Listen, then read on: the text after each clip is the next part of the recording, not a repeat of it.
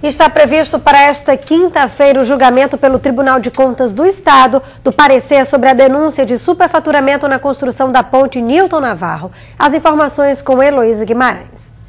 Olá Mariana, bom dia. A ponte Newton Navarro foi construída em 2007 e em setembro daquele mesmo ano, o Tribunal de Contas do Estado apresentou requerimento para analisar os contratos firmados entre o governo do Estado e as empresas responsáveis por esta obra. De lá para cá, várias análises vêm sendo feitas. Os documentos sobre a ponte somam mais de 30 mil páginas.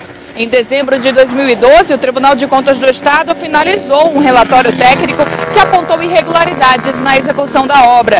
Quando foi inaugurada, a ponte teve um sobrepreço de cerca de 20 milhões de reais, passando de 174 para 194 milhões o custo total do projeto. Esse é o principal objeto da análise. O relatório pediu o ressarcimento do valor de mais de 1 milhão e 600 mil reais ao erário público.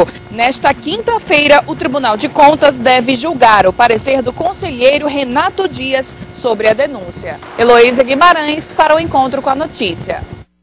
E aí, Jane? Olha, nesses últimos 3, 4 anos, esse assunto já foi anunciado para ser concluído pelo menos umas cinco ou seis vezes. E sempre que está para se definir se realmente houve ou não e quanto foi o superfaturamento, se pede para fazer análise de uma planilha, uma consulta no TCU, sempre se acrescenta um novo detalhe, uma nova é, é, é, demanda, digamos assim, um novo trabalho para vai se adiando, né? vai se adiando e aqueles envolvidos cada vez mais defendendo a posição que são inocentes. Vai ficar muito difícil se, difícil se não se concluir realmente, efetivamente, e se chegar a uma conclusão, convencer a opinião pública, porque esse preço já subiu, já baixou, aí Vamos ver se quinta-feira eles têm pelo menos algo mais conclusivo mas certamente vai aparecer uma planilha, uma nova consulta, algo para continuar adiando esse processo.